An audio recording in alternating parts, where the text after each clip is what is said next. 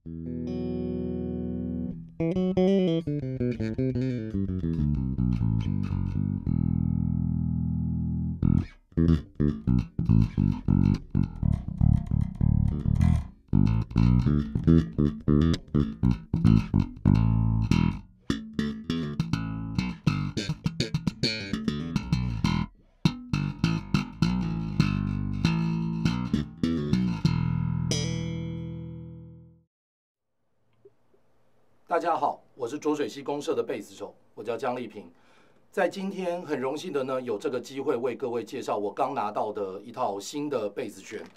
呃，是 Ernie Bow 这家公司的新的产品，哦，是 Slinky 系列中的新的配方，叫做 Cobalt。好，那 Cobalt 是钴的意思。哦，那这个是它的外面缠绕的新的合金种类。那有别于以往一般的贝斯弦用的不锈钢或者是镍的弦，它在手感或者是音色上面呢，都有一些新的感觉，那新的声响效果出现。那在今天很高兴的呢，有这个机会，我可以用我自己的琴装上这个新的 cobal Strings，那为各位示范一下这个弦在乐器上出来的声音。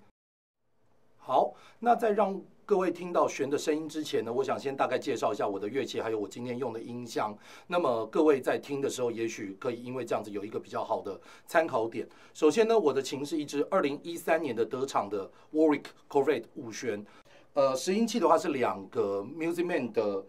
呃 Musicman 型的双线圈，但是我有。换成另外一个牌子的拾音器，但是音色跟原来的差不多。那么最重要的是，这一个乐器上面呢，提供了这个拾音器比较多的选项，包括了现在这样子看到的是两个并联的状况，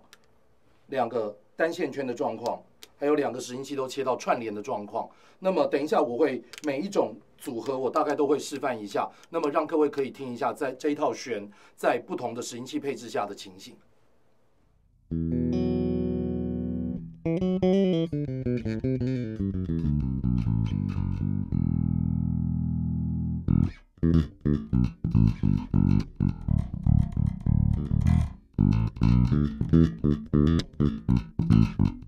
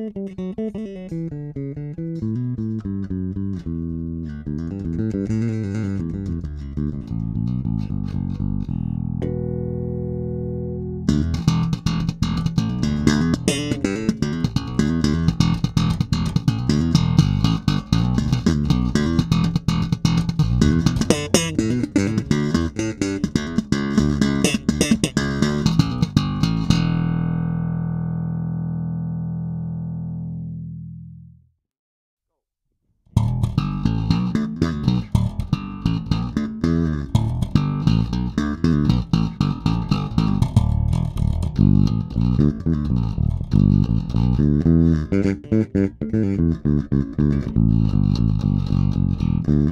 you.